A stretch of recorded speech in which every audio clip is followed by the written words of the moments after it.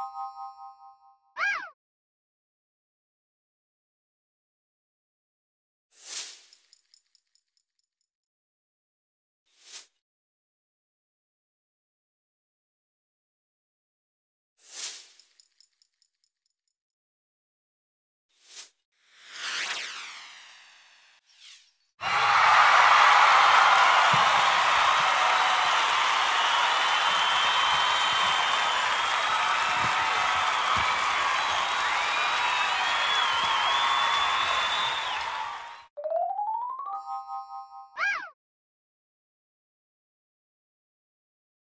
How would you like to go see the school counselor? How would you like to suck my balls?